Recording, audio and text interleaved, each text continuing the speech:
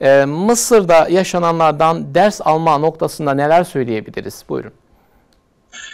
E, tabii ki bütün İslami hareketler e, eleştirilebileceği, değerlendirilebileceği, tenkit edebileceği gibi e, yüzülen bir hareket olsa dahi ilk konuda eleştirilmeli, eleştirilmelidir de doğrusu. Ta ki e, hepimiz beraberce yanlışlarımızı görelim.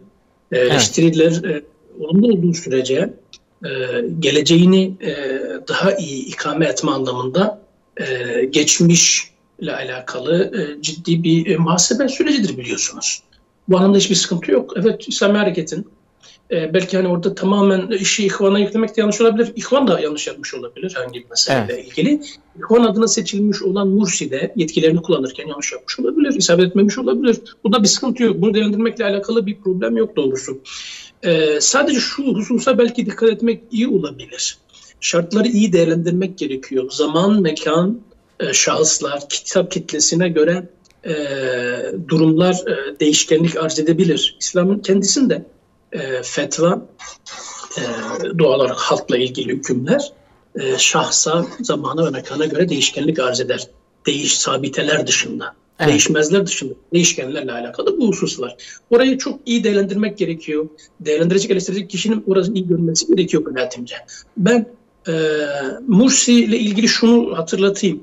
Doğru e, yapısı itibariyle Mursi e, esasen akademisyen, e, evet. mühendis, başarılı çok da başarılı olması münasebetiyle Amerikan ilgisini çekmiş. Orada senelerce hocalık yapmış. Ancak İslami Hareket'in ihvanın kendisini e, temsil etmesi anlamında çağırması münasebetiyle buradaki bütün e, e, akademik kariyerini, istikbalini, geleceğini bırakıp e, nispeten kaideden de uzak olan e, daha mütevazi sayılabilecek bir yerdeki Zakazik denen yerde e, bir ilde e, il ilçesinde e, bir hocalığa başlıyor oradaki üniversitede e, ve kirada oturuyor diye biliniyor zaten bu yansıdı o dönemdeki e, basına da. Sonrasında evet. da siyasete giriyor. O çok baskılı dönemlerde bile uzlaşmacı kişiliği münasebetiyle, yükselilik bölgeler münasebetiyle aslında uzlaşmacı kişiliğiyle biliniyor. E, İhvan'ın da aslında İslami hareket adına, şimdi bunu burada ifade etmek gerekiyor tekrar. Değişik ifade etmiş olsak da aslında darbeden, şey özür dilerim ayaklanmadan sonra, devrim ayaklanmasından sonra e, daha çok meclise yönelmesiyle alakalı bir karar var diğer İslami hareketlerle birlikte.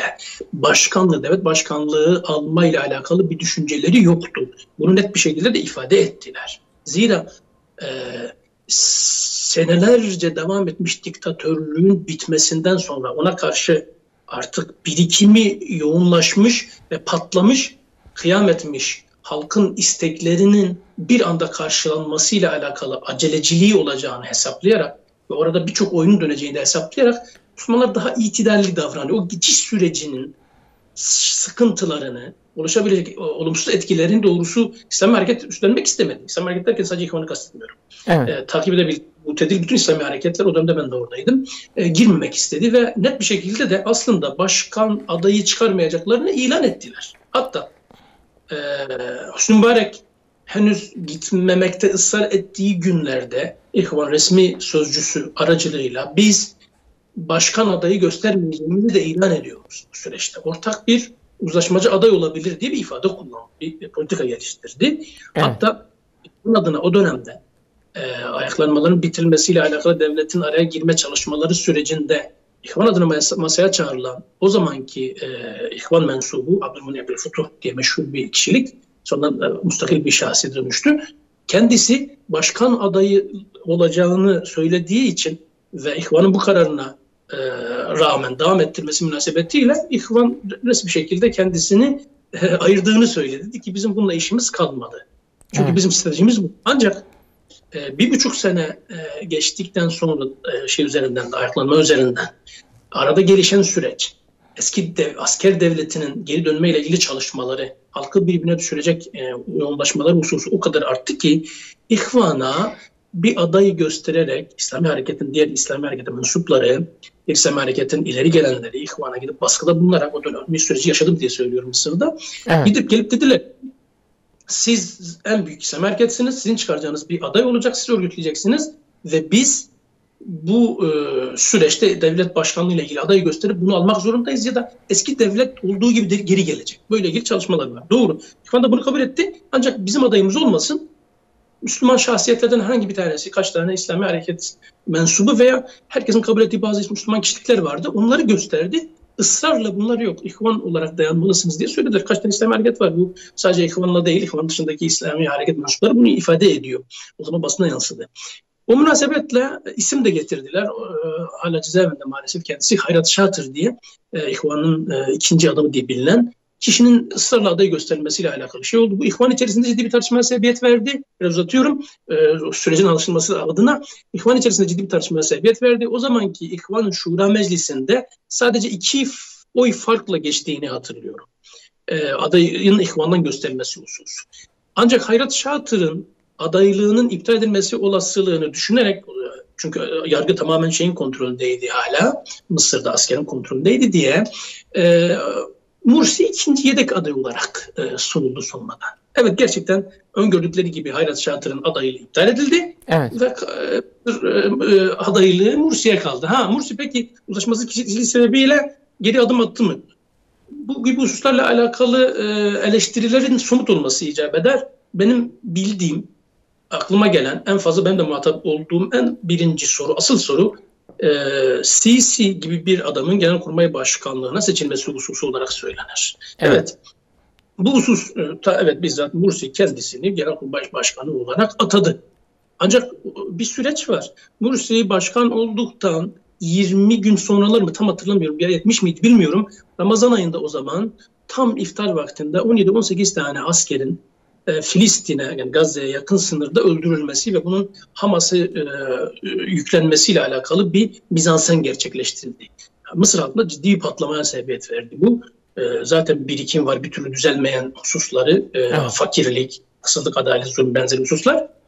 Bun, bununla Mursi devirme girişimi yapmaya başladılar. Mursi onun dişini gösterdi. 70 generali, 70'i aşkın generali emekli ettiğini hatırlıyorum aynı dönemde. Onlar Mursi'ye darbe yapmaya çalışırken böyle bir şey yaptı. Hatta o zaman e, Türkiye Cumhurbaşkanı Erdoğan'ın bizim 10 senede yapamadığımızı Mursi 10 günde yaptı diye bir ifadesi e, çıktı Mısır basınında hatırlıyorum. Yani bir anda bütün e, asıl ana tutucuları, ana e, e devletin ana merkezlerini tutan tutanların e, emekli edilmesi hususu çok mühim bir mesele herhalde. Ha sonrasında Genelkurmay Başkanlığı'yla ana seçeceğiniz kişi Orada belli bir kademde olması gereken kişi. Generaller içerisinde şu kadar tecrübesi olmuş kişiyi almak zorundasınız. Ve Mısır'da e, hukuken e, o dönem mecliste olmadığı için başkan bir şey yapamıyordu henüz. Evet. E, askeri konseyin üyeleri içerisinden birinin genelkurmay başkanı seçilmesi zorunluluğu vardı.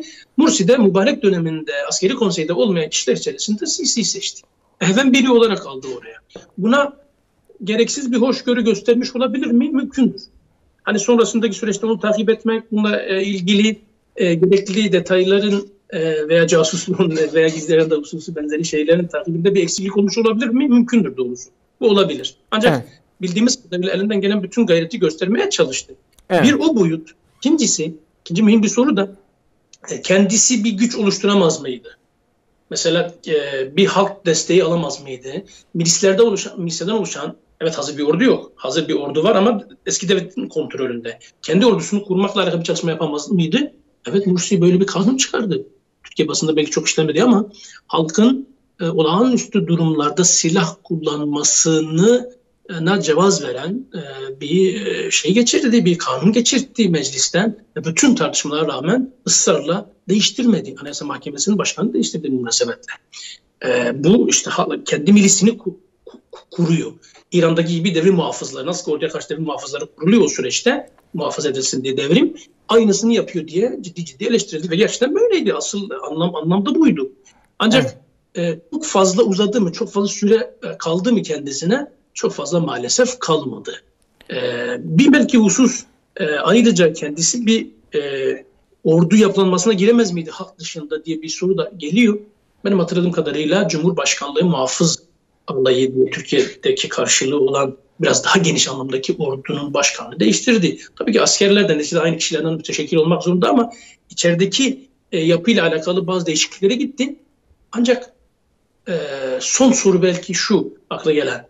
E, darbenin yap darbeye giden süreçte onların için silah kullanmadığı ve halk bu kadar e, ayaktayken kıyam etmişken Mursi'nin karşı yapılan darbeyle ilgili niçin ilgili kurumlar, kurum başları ele geçirilmediği gibi bir eleştiri olabiliyor. Evet gerçekten de e, asıl belki insanı üzen, acıtan, yani hani diğer şeylerle alakalı az çok üzerine düşeni yaptığı kanaatindeyim ben Evet. şahsen.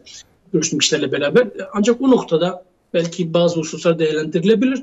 Oradaki noktada e, çokça Müslüman kanın dökülmesiyle alakalı bir sıkıntıyla karşı karşıya kalması münasebetiyle böyle bir şeyi tercih ettiğini e, değerlendirebiliyoruz. Niçin?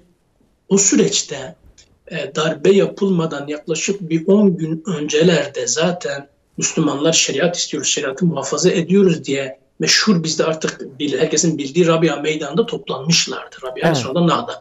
Rabia Meydanı'nda Mursi'nin karşı darbe yapılmadan 10-15 gün öncelerde zaten Müslümanlar toplanmıştı. Burayı ıskalamamak gerekiyor. Ve onun da tam karşısında hemen birkaç kilometre ilerisinde yine senelerin birikimiyle fakir halkı rahat bir şekilde kandırmaktan ileri gelen 1 milyonu aşkın e, birçok kişi çapulcularla beraber Rabia Meydanı'na çok uzak olmayan bir yerde bu sefer Mursi karşıtı olarak Evet. e, birikmiş ve günlerce kalmışlardı. Yani iç savaşın olmasıyla alakalı ciddi bir şey e, değerlendirildiği için böyle bir adım atıldı doğrusu. Evet. Yalnız şu söylemezsem e, sanırım eksik bırakmış olurum. E, Buyurun, tamamlayın onu da. bir me- mesele değildi. Ben e, İslami Hareket adına diğer e, mesela Cemaat-i İslami, e, Mısır Cemaat-i İslamisi biliyorsunuz silahlı bir yapı idi eskiden. Hatta Mü- Mübarek'ten önceki Enver Sadat'ı canlı yayında e, öldürmüş İsrail'le anlaşması sebebiyle Evet. bulan Halid'in e, mensup olduğu cemaattir. Evet. Cemaat-i İslami. Cemaat-i İslami'nin yetkililerine o zaman sormuştum. Demiştim ki siz e, bu darbe sebebiyle silahlı bir şekilde kalkışma, silahlı olarak cevap verme hususuyla alakalı ihvanı e, e, nın fikrini değiştirmekle alakalı bir şey gitmediniz mi? Ve sizin fikriniz ne oldu diye ısrarla söyledim ki o, o şey günlerinden bahsediyorum ben sonrası değil. Evet. Israrla dediler ki biz bu usta tamamen ihvanla mutabıkız. Kesinlikle tamamen bir iç savaşa doğru gider. Evet. Suriye'ye yere dönebiliriz diye bir şeylerimiz oldu. Evet İslam Hareketi'nin genel anlamdaki iştihadı buydu, yaklaşımı buydu. Evet. Yanlış olmuş olabilir, olabilir. Ancak deseniz ki e, evet kendi yorumları, yaklaşımları, kendi şartlarını görme hususu da var mı? Kanaatimce onu değerlendirmeden uzaktan değerlendirme yapmak belki o Müslümanlara haksızlık olmuş olabilir. Evet.